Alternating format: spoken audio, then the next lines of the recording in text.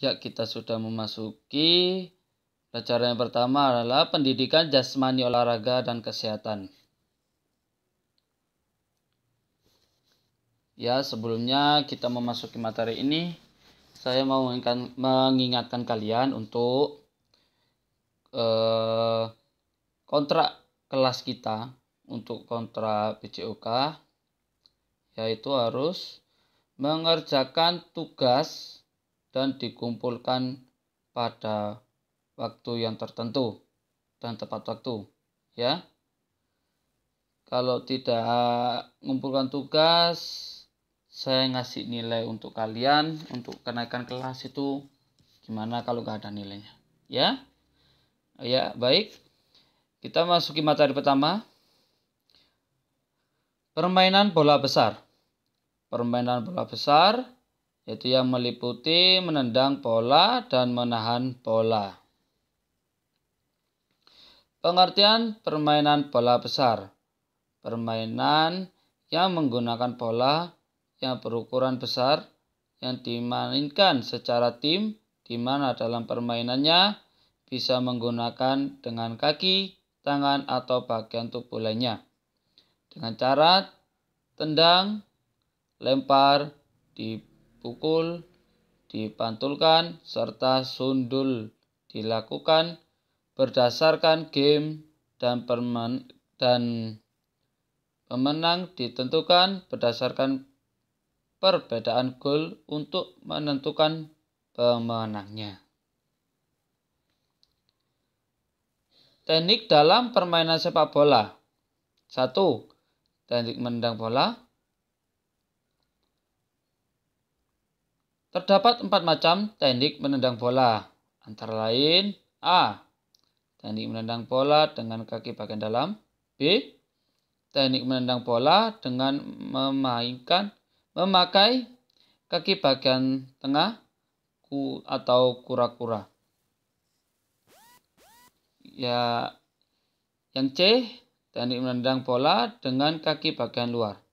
D, Teknik menendang bola dengan kaki bagian ujung depan. A. Teknik menendang bola dengan kaki bagian dalam. Ya, ini teknik yang pertama yang diajarkan adalah teknik menendang bola dengan kaki bagian dalam. Caranya, kaki kiri tumpu, kaki kiri atau tumpuan berdiri di samping bola.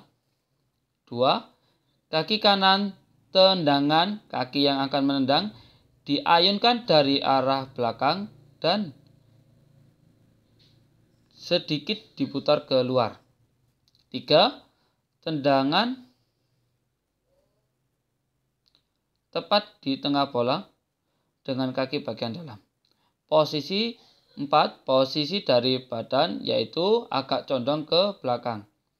Lima, pandangan menuju ke arah bola. Nah, jadi ini teknik-teknik dasar yang harus kalian lakukan untuk teknik menendang bola dengan kaki bagian dalam. Nah, ini contohnya. Ini gambarannya. Jadi, kita melakukan itu untuk kita memasing atau mengoper ke teman kita atau sesama tim kita untuk mencetak gol. Yang B, teknik menendang bola dengan kaki bagian tengah atau kura-kura. Caranya, kaki tubuh berada di samping bola. Dua, kaki tendang diayun ke arah belakang dan ujung kaki mengarah ke tengah.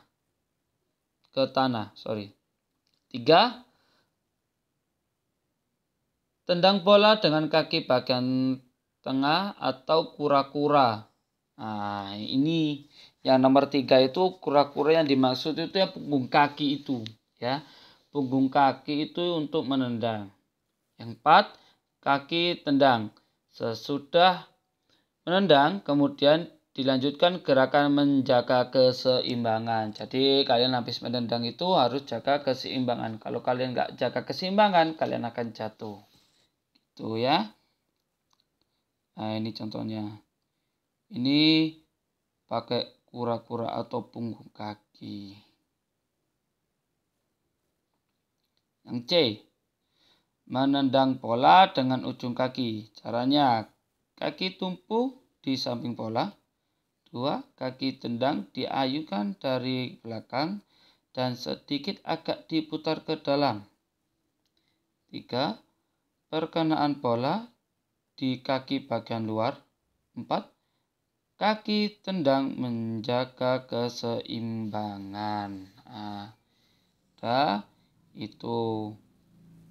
Ini contohnya, ini tendangan ujung kaki. Jadi perbedaannya itu ada di punggung sama di ujungnya saja ya. Dua, teknik menghentikan bola atau stopping.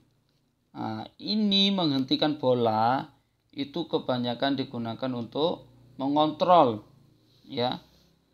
Adapun teknik menghentikan bola stopping adalah sama dengan teknik menendang bola dalam penggunaan kaki bagian dalam, luar, depan, dan telapak kaki bagian bawah.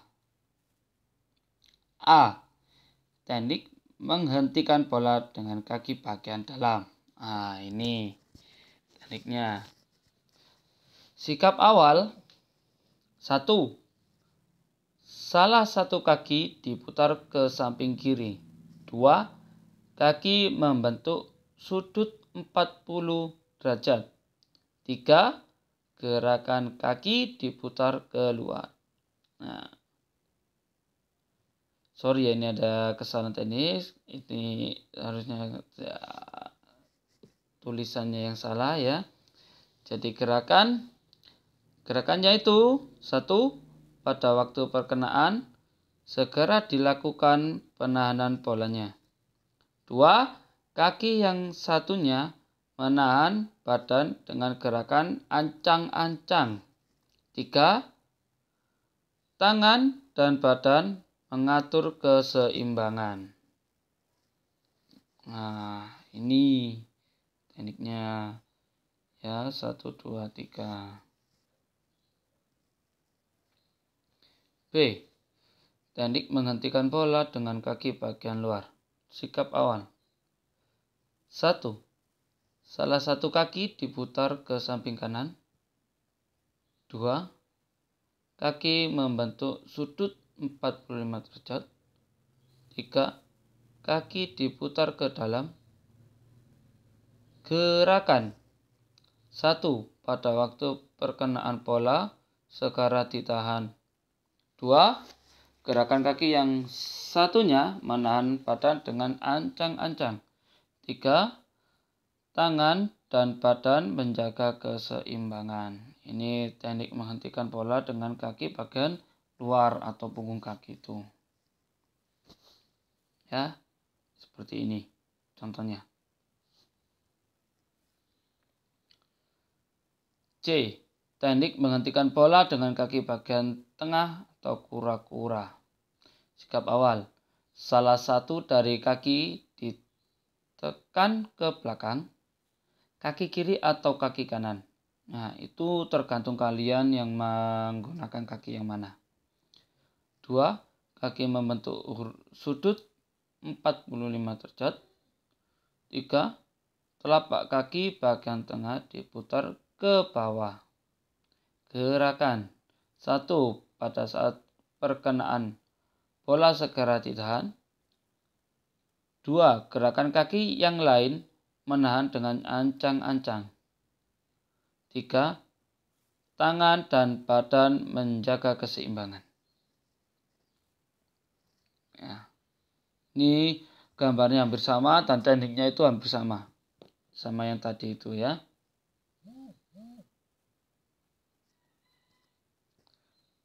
D. Teknik menghentikan bola dengan kaki bagian bawah atau telapak kaki. Nah, ini yang sering digunakan untuk mengontrol bola jauh bisa, untuk mengontrol bola biar stabil bisa, ya. Sikap awal. Satu, salah satu kaki diputar ke atas. Dua, kaki membentuk sudut 45 derajat. Tiga, telapak kaki diputar ke atas. Gerakan. Satu, pada waktu perkenaan bola segera dilakukan penahanan. Dua, gerakan kaki yang lain menahan dengan ancang-ancang. Tiga, kedua tangan dan badan menjaga keseimbangan. Nah, ini ini teknik yang lebih mudah untuk menahan bola.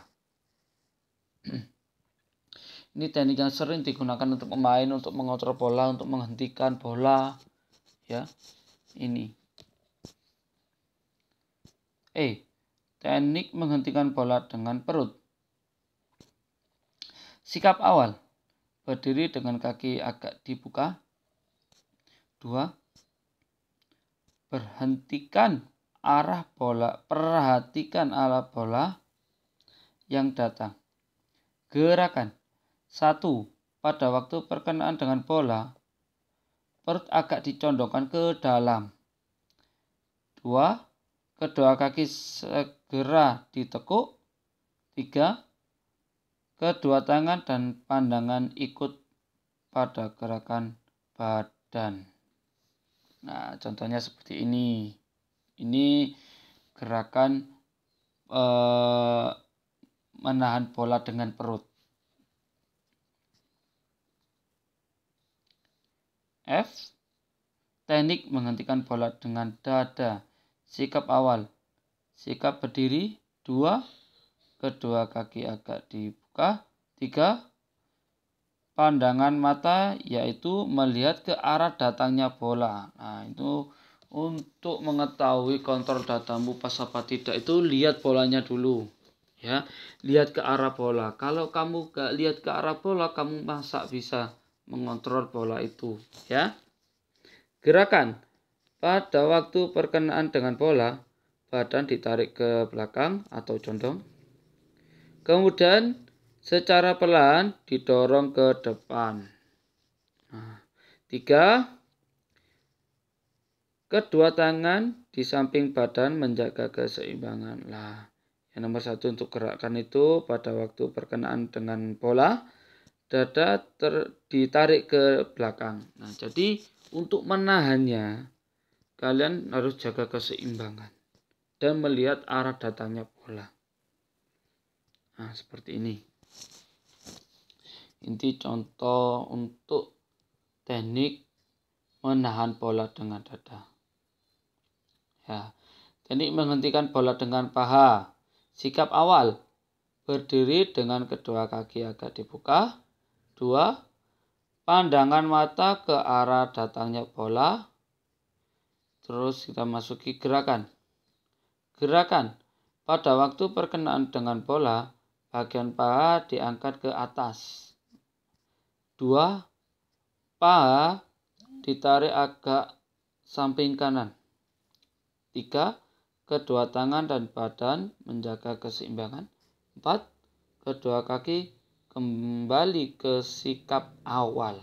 Nah, jadi ini hampir sama yang gerakan dada itu pahanya ditarik, diangkat ya untuk menahan bola.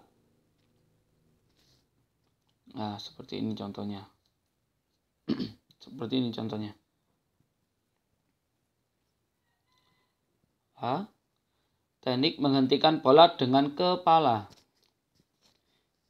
Sikap awal berdiri dengan posisi kaki agak dibuka. Pandangan melihat ke arah datanya bola. Dua. Gerakan pada waktu perkenaan dengan bola. Bagian kepala sedikit agak ditarik ke belakang. Sama kayak gerakan menahan bola, eh, teknik menahan bola dengan dada. Bola tepat terkena di atas bagian depan kepala, bagian jidat, yaitu di atas alis itu, ya seperti itu. Nah ini contohnya seperti ini. Ini menahan bola.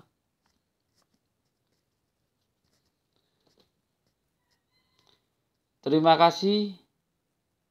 Saya Airi. Wassalamualaikum warahmatullahi wabarakatuh.